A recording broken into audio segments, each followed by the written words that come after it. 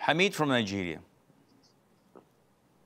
Assalamu alaikum, Sheikh. Alaikum salam My, my question is, my question is, when performing ruqya and reciting um, Ayatul Kursi or the last two verses of Surah Al-Baqarah, should we seek refuge with Allah from the shaitan um, at the beginning? And also, should we say Amin every time we recite the Fatiha, even when we are doing it for ruqya?